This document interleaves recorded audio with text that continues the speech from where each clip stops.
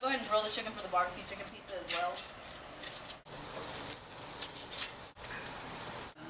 Go ahead and get your Caesar dressing laid out on it. Give you a nice glob in the center and you'll work it around with a spoon. With the lettuce, you're just going to want to cut it into about one inch chunks and then you'll break it up once you get it cut.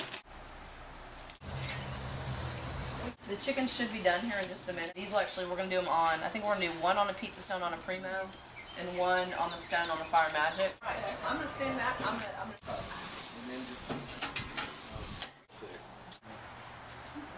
A little bit of olive oil and a little bit of salt and pepper on it.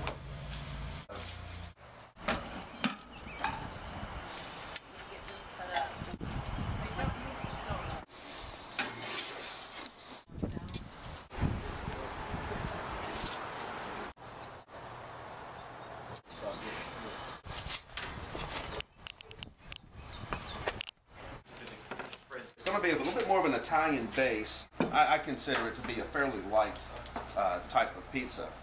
Put a little bit of olive oil on the pizza. Rub it in a little bit. Let's put a little bit of Parmesan here in the bottom. Okay, okay, we've got some basil, just some fresh basil. Everybody here like tomatoes? It's called the Marguerite, Marguerite pizza.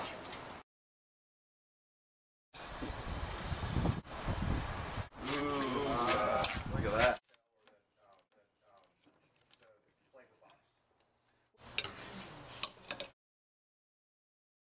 Our barbecue sauce. Real pizza. It's just instead of using a tomato sauce, we're going to use a barbecue sauce.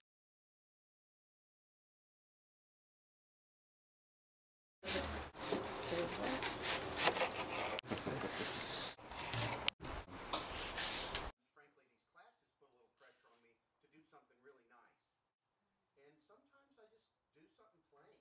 You know,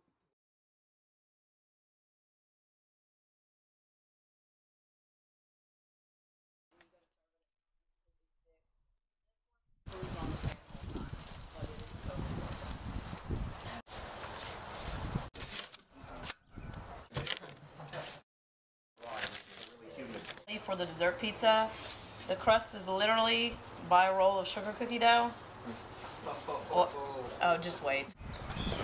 I'm melting some butter right now. We're going to use it to go ahead and put some apples that have cinnamon sugar on them for our dessert pizza in there when we get to that point. But we want to make sure the apples get to soften up before we get started on that. So we're kind of multitasking right now.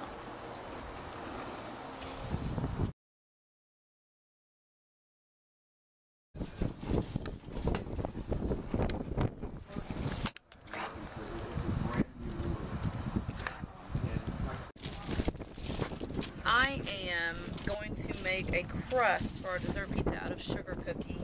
Um, I'm just going to spread it on some aluminum foil and put it right onto the grill grates. We're going to let it go for, you want to check it at about 8 minutes. Probably let it go for 10 just to make sure it's cooked all the way through before we start adding the toppings and pop it back on for 2 or 3 more minutes to let it finish. we just we That put is it in a there, giant call it a day, send your bill, you know, and you're back up and running again without ever having to mess with it. in about five minutes that's going to be you want to make sure that it is cooked all the way through because when you put it back on with the toppings it's not going to be on there long enough to cook um, your sauce on this one is going to be caramel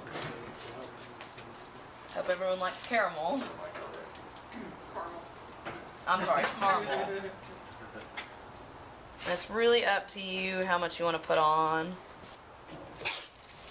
we're gonna be winging it with these. But and like I said, I put these on in the beginning.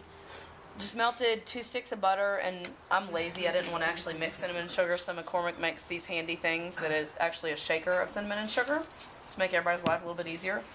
Um, I gave doused the apples real good with those and just mix it in. Yes, but this is for two pizzas. If you're only making one pizza, you don't need that much butter.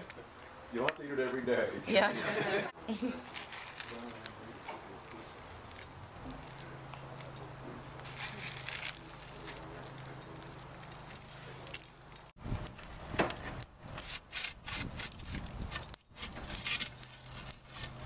once you put it back in with your toppings on, you're not going to leave it in there very long. Just, I think just about everything we've done today has been right around 300.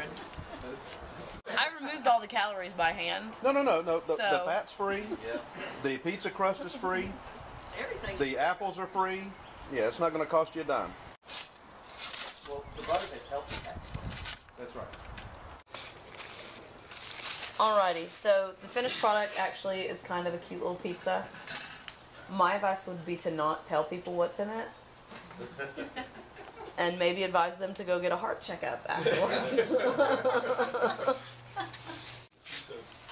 Stones and donuts, and it's been on it for some time.